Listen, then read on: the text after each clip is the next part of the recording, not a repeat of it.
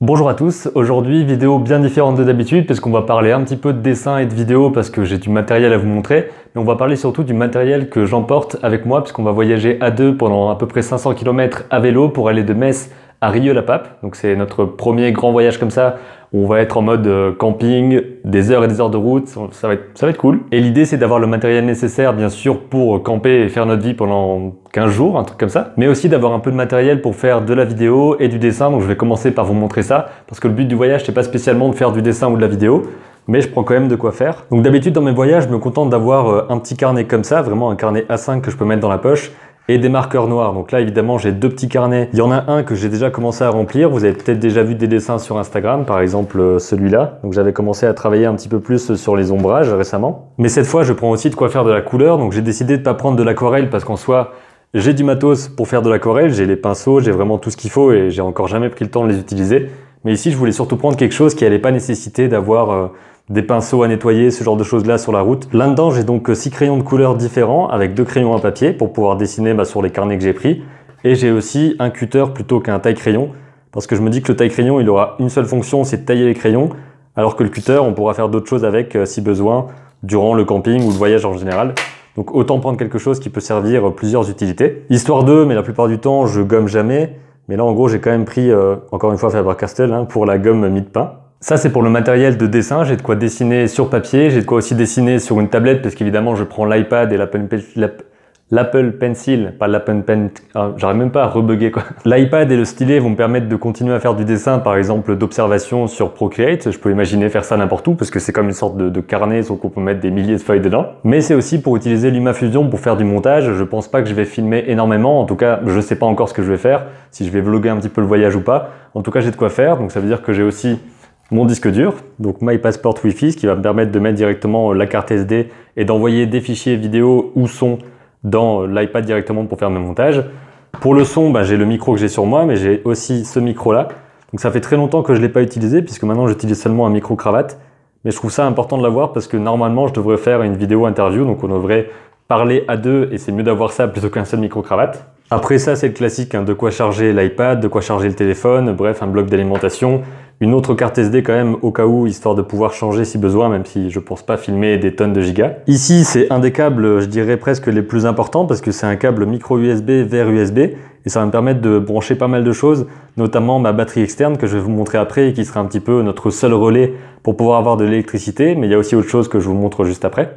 J'ai aussi le chargeur, même si je pense qu'on va surtout brancher la caméra en micro USB, ça permettra d'être beaucoup plus mobile et de pas forcément avoir besoin d'une prise secteur même s'il y en aura certainement euh, dans les campings où on va aller. Et sur ce coup, j'ai aussi décidé de prendre seulement des écouteurs, donc il faut juste que je les teste pour savoir s'ils vont bien. Mais parce que d'habitude, j'utilise ce casque-là, qui est vraiment très bien, hein, qui est un casque à réduction de bruit, qui est le Sennheiser PXC 550, un truc comme ça. Mais ce casque-là, il est vraiment plus pratique euh, pour tout ce qui est voyage en avion, voyage en train, quand il y a beaucoup de bruit autour et qu'il faut forcément réduire tout ça pour pouvoir dormir tranquille et tout. Je compte pas spécialement dormir sur le vélo pendant que je roule, donc euh, des écouteurs c'est très bien, surtout que j'en aurais juste besoin quand on est posé le soir pour faire quelques montages peut-être. Le soleil se barre, j'espère que ce sera un peu différent quand je tournerai dehors là-bas. Donc ça c'est tout le matériel que j'ai pour travailler et pour pouvoir dessiner, faire des montages si j'en ai besoin et si j'en ai envie, parce que je vais évidemment pas me forcer à le faire, hein. c'est aussi un voyage pour euh, voyager. Et ensuite il y a tout le matériel qui va servir pour tout le reste. Là il y a bien sûr euh, les indispensables, hein. ça c'est les vêtements que j'aurai pendant que je roule, en tout cas au début.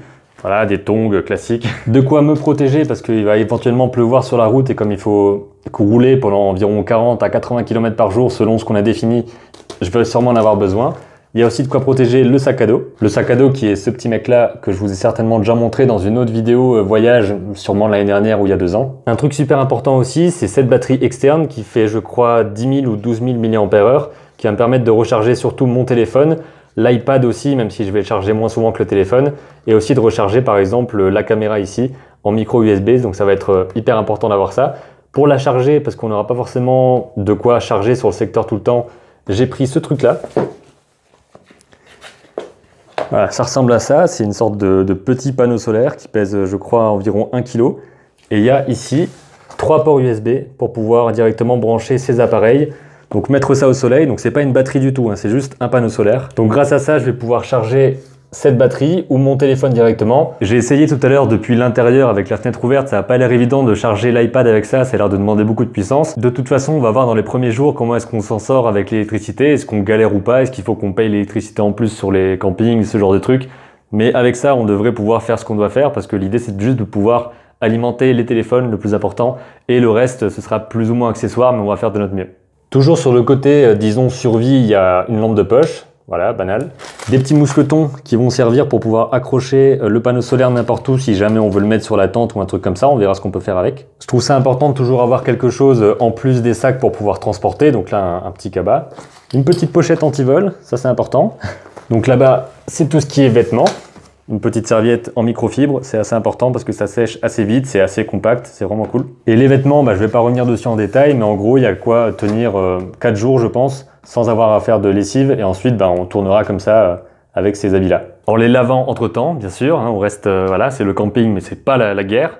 S'il pleut, un parapluie, s'il pleut, une casquette, non, sans déconner, ça marche bien quand il pleut et qu'on fait du vélo. Même si en l'occurrence, on aura certainement les casques tout le temps sur nous. Et justement, pour les deux vélos, ben, il faut qu'on ait un petit peu de matériel pour pouvoir réparer des choses si besoin. Donc, de quoi remplacer les chambres à air, de quoi enlever les pneus avec du matériel comme ça. L'indispensable pompe à vélo, ça c'est classique, le truc se barre. de quoi attacher le téléphone sur le guidon du vélo pour avoir le GPS, parce qu'il faudra bien qu'on se repère de cette façon-là ou d'une autre. Pour les sacs de couchage, on a essayé d'avoir des choses qui soient à la fois confortables, qui tiennent chaud et qui sont pas trop... Euh, encombrante, disons, bah, ça a l'air de faire le job. On verra bien ce que ça donne sur la route. Mais en tout cas, ça a l'air confortable parce que je l'ai testé à l'intérieur. Ici, la tente, qui est prévue au départ pour trois personnes. On sera deux dedans, donc euh, ça va le faire niveau confort. D'ailleurs, je trouve vraiment que ça, ça fait vraiment euh, pictogramme fausse commune, c'est bizarre. en tout cas, ça, c'est 2,75 kg. Celui-ci, c'est 1,2 kg. Et celui-ci, c'est 1,1 kg. Donc avec tout ça, on a... Attendez, il faut que je calcule. Donc tout le matériel de camping, à savoir les deux sacs de couchage et la tente, ça fait environ 5 kg. Et ces 5 kg là, on va les porter derrière nous sur les porte-bagages. Avec ceci, voilà. Je suis plus certain, mais je crois que dans chacune des sacoches, on peut mettre jusqu'à 10 litres. Donc ça me permettra quand même d'avoir une vingtaine de kilos en plus si besoin, mais on n'aura jamais autant vu que ça, ça fait seulement 5 kg et qu'on va pas rajouter 12 000 tonnes de trucs non plus. Et la majorité de mes affaires sera bien sûr dans le sac à dos.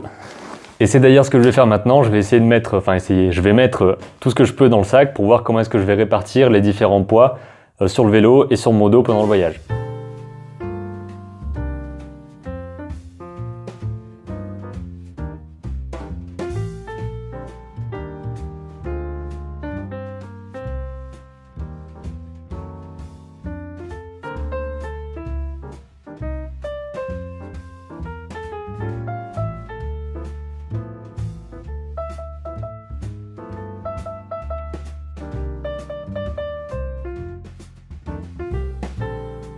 Bon alors pour info, euh, là j'essaie de mettre tout à l'intérieur des sacs et c'est vraiment pas évident parce qu'il euh, y a trop de choses à répartir d'une certaine façon et c'est compliqué à tout organiser. On va trouver comment faire, à mon avis ça va peut-être finir en euh, on met plein de trucs dans les sacs au porte-bagages on met la tente par-dessus le porte-bagages. Ça on verra au moment où on aura directement les vélos pour voir comment on fait.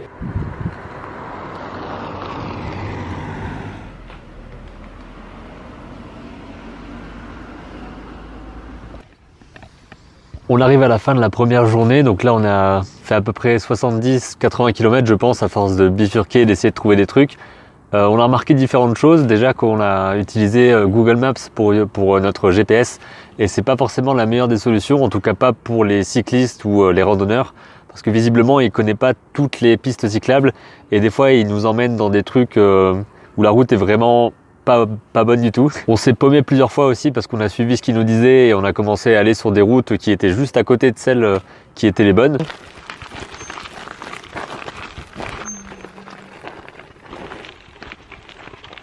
Donc pour l'instant, ce qu'on a fait, c'est euh, Metz-Nancy, hein, plus ou moins. Donc euh, c'est très rapide à faire en voiture ou en train, mais là, on a mis quelque chose comme 8 heures pour y aller, avec toutes les pauses, etc. comprises. On s'est pris la flotte aussi pendant, je pense, 2-3 heures, un truc comme ça, et c'était pas évident du tout parce qu'ensuite à un moment donné il fallait monter un truc gigantesque et on, se rend compte vraiment de. Voilà, il nous manque encore de, l'endurance, le côté cycliste de l'extrême, de l'extrême, on l'a pas encore forcément. D'ailleurs, en gros, là, je filme directement sous la tente comme un schlag parce que ben, j'ai peur qu'il pleuve autour et voilà, euh, avec la caméra, ce serait le bordel. Donc, par rapport aux applications qu'on va utiliser, il y en a une qui s'appelle Osmand, donc O-S-M-A-N-D, qui est basée sur euh, OpenStreetMap, à savoir le Wikipédia de la carte, c'est-à-dire qu'il y a des gens qui disent où se trouvent les choses. Donc, il y a beaucoup plus de cyclistes, de randonneurs qui disent où sont les différentes routes et quel est leur état.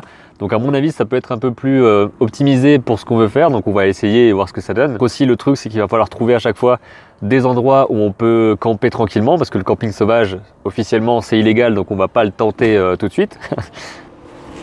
Faites les couilles avec la voiture. D'ailleurs, en termes de tente, là, euh, enfin voilà, niveau camping, je suis pas très expérimenté. La dernière fois que j'ai dormi dans une tente, c'était, je devais avoir 10 ans, et c'était dans le jardin de mon voisin. Pour conclure, j'aimerais savoir s'il y en a certains qui font ce genre de choses, ce genre de voyage, soit à pied, soit à vélo, mais en tout cas, voilà, un truc où on sait où on va, mais on ne sait pas forcément par où on passe. Si vous avez des astuces pour, euh, je sais pas, euh, vous repérer facilement, aussi pour l'énergie, donc l'électricité, pour trouver de l'eau, pour euh, manger, bref, tout ce qui concerne le voyage un petit peu improvisé quelque part. Je serais curieux d'avoir vos petits conseils ou vos retours d'expérience parce que ça nous intéresse d'avoir des retours pour éviter de se planter là où vous êtes planté avant nous, quoi, en fait, juste d'apprendre de ce que vous savez. Donc dites-moi ça en commentaire, on lira ça avec attention. ben voilà, on va aller se reposer, on va aller relâcher un peu les muscles. À bientôt pour une prochaine vidéo. D'ici là, comme d'habitude, créez vos images, racontez vos histoires. Ça se voit que je suis mort ou?